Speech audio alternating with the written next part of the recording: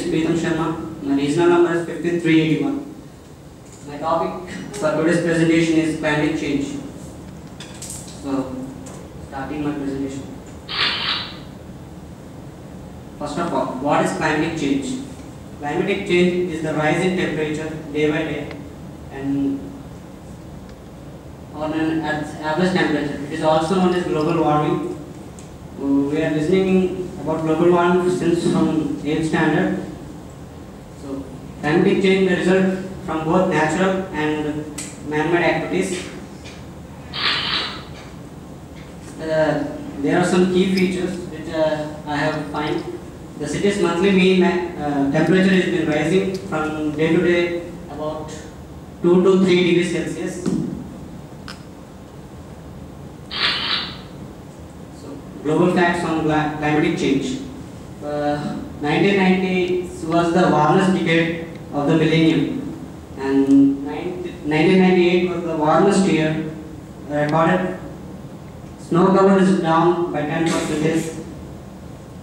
Carbon dioxide level has been increasing 30 percent uh, in the last 200 years alone.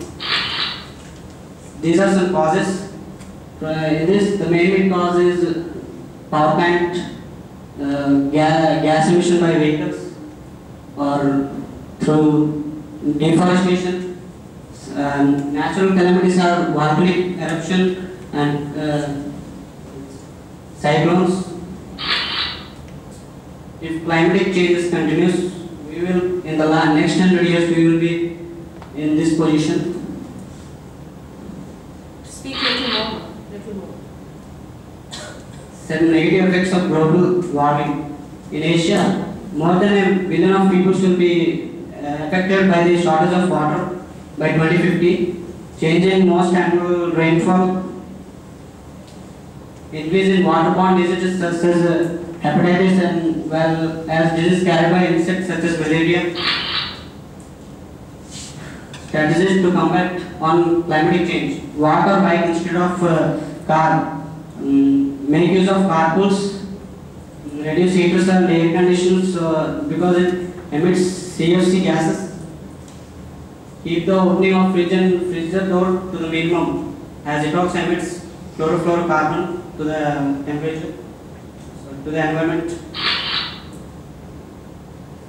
Climatic change is due to global warming. It is caused by the, the natural man-made activities. These are some summary on it. Here is some. You can see that you can, you have a choice that you can save it or you can continue for the climate change.